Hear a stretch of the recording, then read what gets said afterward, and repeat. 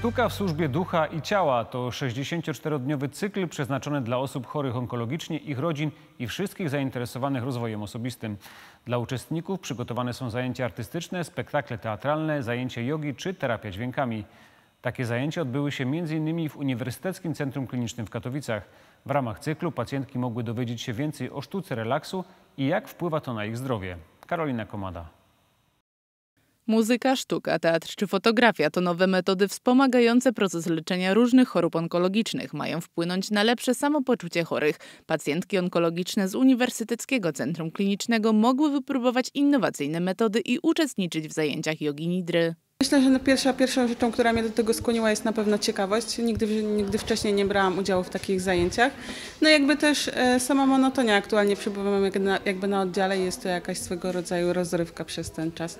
Ale głównie ciekawość, jakby spróbowania czegoś nowego. Yoga Nidra to głęboka relaksacja, wejrzenie w głąb siebie.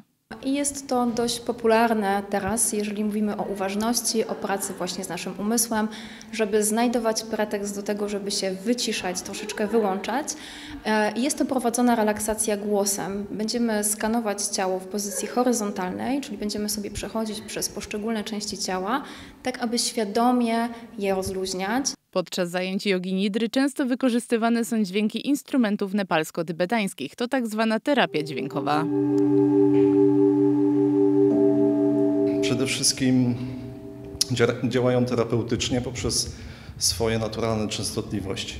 Stosujemy również e, specyficzne interwały, czyli odległości pomiędzy dźwiękami, które mogą wpływać pozytywnie, ale również możemy nimi wprowadzać e, w stany nerwowe. Jeżeli osoba, e, terapeuta dźwiękowy wie, jak to stosować, mamy pełen, pełne spektrum pięknego relaksu i wspaniałej ceremonii dźwięku.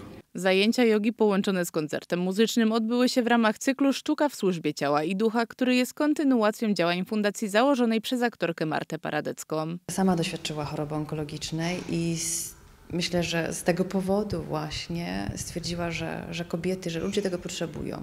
Już nie tylko te osoby, które chorują, ale również rodzina, najbliżsi, przyjaciele. To jest temat tabu, to jest bardzo trudny temat, sytuacja graniczna e, i, i trudno też e, o niej opowiadać, czy w ogóle angażować Myślę, że ludzie się tego bardzo boją. Tegoroczna trzecia już edycja pod nazwą Nieobecni trwa 64 dni. W ramach cyklu w różnych miejscach organizowane są zajęcia muzyczne i spektakle teatralne.